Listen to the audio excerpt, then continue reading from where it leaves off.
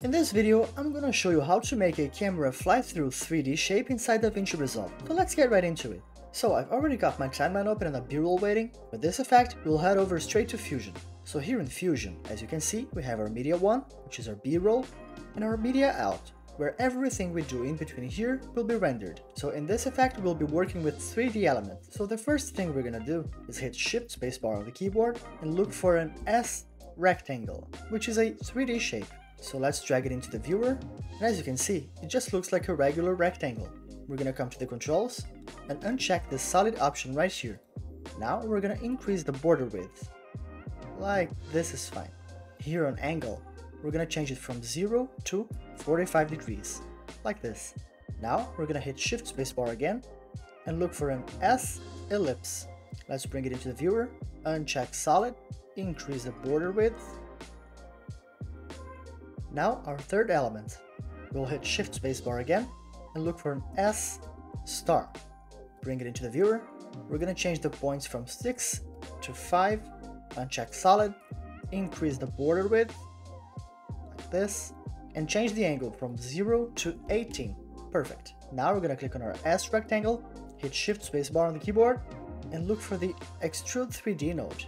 Let's add it, bring it into the viewer, and as you can see, we're now finally in 3D space. And the extrusion is what really brings the 3D magic into life. So all we have to do is come to the controls and increase the extrusion depth.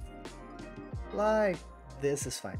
Now we just have to copy this, hitting Command C or Control C on the keyboard, and then pasting it twice, hitting Command V or Control V. One for the ellipse, and one for the star. So let's see how they look. Cool. Now we're gonna bring them all together. And we're gonna do that by hitting Shift Spacebar again and looking for the Merge 3D node. Let's place it right here and connect all of them. So let's bring the Merge 3D into the viewer and see how they look. Now we have our full 3D shape. Next, we're gonna give it some nice looks. So we're gonna click on our Merge 3D, hit Shift Spacebar on the keyboard, and look for a Replace Material 3D. Let's add it. Now we're gonna come to Effects, Templates, Fusion, and Shaders. And here you have many material options to choose from. I'm gonna choose Chrome, which I like the most. I'm gonna drag it into the node tree and connect it to this green arrow right here. Let's close the effects, bring the replace material node into the viewer, and that's how it looks now. Now we're gonna bring it to life. Let's make some movement out of it. So here on the extrude node of the S rectangle shape, we're gonna come to transform, and making sure we're at the beginning of the clip, we're gonna set a keyframe right here on the y-axis under rotation. We're gonna go to the end of the animation and write 1080 degrees. And it's gonna spin like this. See? Now we're gonna come to the extrude node of the S star shape, go to transform, and on the same y-axis under rotation, we're gonna set a keyframe on the beginning of the animation. We're gonna come to the end and write minus 1080. And it's gonna spin to the other side, like this.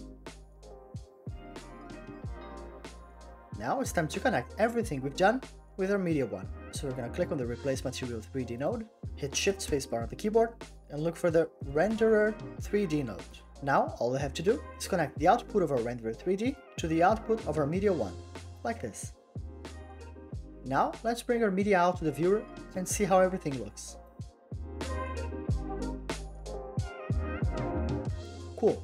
Now let's make it fly through the camera. And it's a very simple thing to do. Let's go to the beginning of the animation, click on our Merge 3D node, come to Transform, and set a keyframe here on the Z-axis under Translation. Now let's place it a little bit far away.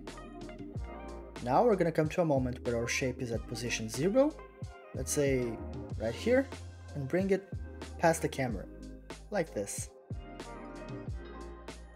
Now once it's past the camera, we're gonna go 5 frames ahead and make it go far away, like this. Now let's see how the final effect looks.